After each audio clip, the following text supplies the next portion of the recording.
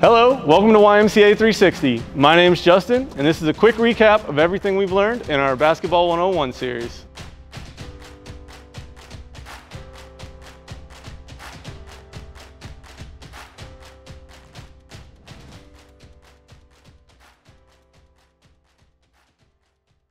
So the first thing that we learned in this series is that our shot starts from the ground up. So that means that we want to keep our toes 10 toes to the rim. Remember, that means that no matter where we are on the floor, our toes are always going to be pointed directly at the rim.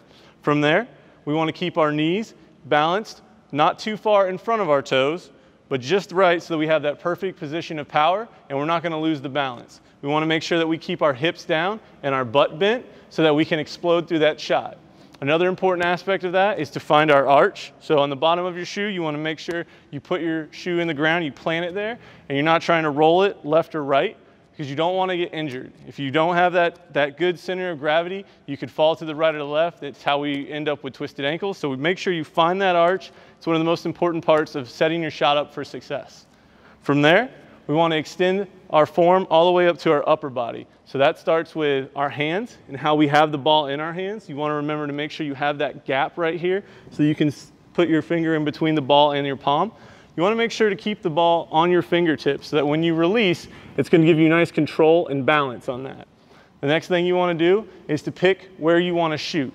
Uh, remember I, I talked about how different shooters find different targets to aim at. You can pick the backboard, you can pick the back of the rim, I choose to pick the front of the rim. I find that the easiest, right where the net and the rim come together. And I want to work on my shot and I want to remember to put that ball just directly over that rim so I can drop it in and hope for a perfect swish. If it doesn't swish, I also want to make sure I'm giving myself an opportunity for a soft bounce so that it'll roll in. The next part of that is to keep my elbow in line with my dominant side of my body. Being a right-hander, I keep my elbow directly in line so that when I come up, I keep a clear vision of the, of the hoop. We don't want to make we want to make sure that we're not losing our vision as we come up through that shot. We want to make sure that we're keeping that ball on the dominant side of our body so that our eyes can keep that vision. Our elbow is tucked in, not sticking out on that chicken wing or in too far. And then we want to explode up. When we release, we want to make sure that we keep our hand straight forward so that we're not thumbing the ball or pushing the ball too far right or too far left. And we want to just keep the gooseneck, as we call it, right up there. Your elbow should be slightly above your hand or slightly above your eyes when you finish, and that will allow for that perfect balance that your shot is not too far forward so that you're having to shot put it or not too far back and you're getting too much arc on it.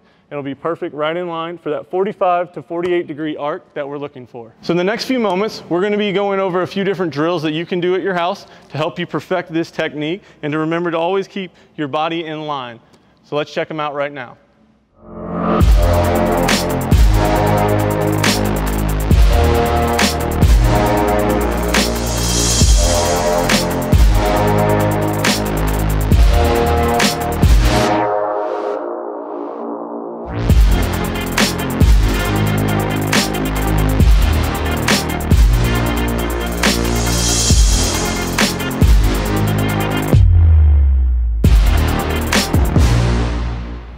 I want to thank everyone for joining me on this basketball journey.